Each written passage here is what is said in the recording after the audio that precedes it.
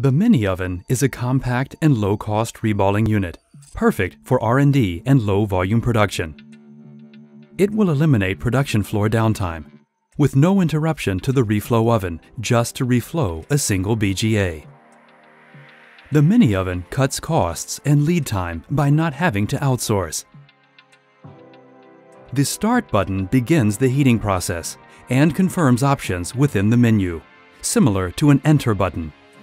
Up and down buttons scroll through menus and modify parameters. The Stop button terminates the heating process and functions as back and exit. The mini oven uses a unique heating concept of IR and convection. The IR heat comes from below the glass plate Inlets located in the back of the oven feed hot air from beneath the glass plate to the inside of the heating chamber. As an option, nitrogen gas can be used to reduce oxidation. The temperature is monitored using the internal sensor. As soon as the process is finished, the fan starts the cool down phase. Martin offers standard and customized masks.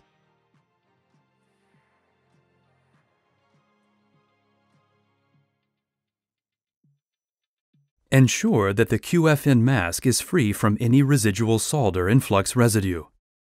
Precisely place the component into the matching mask with the contacts pointing downwards.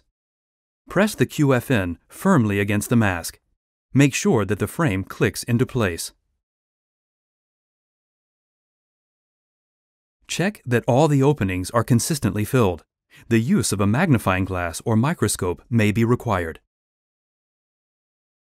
Any excess solder paste should be removed.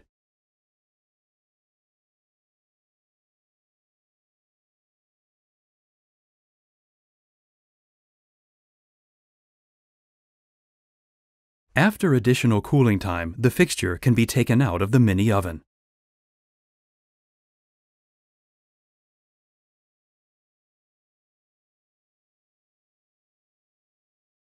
Carefully remove the component from the mask with a pair of tweezers.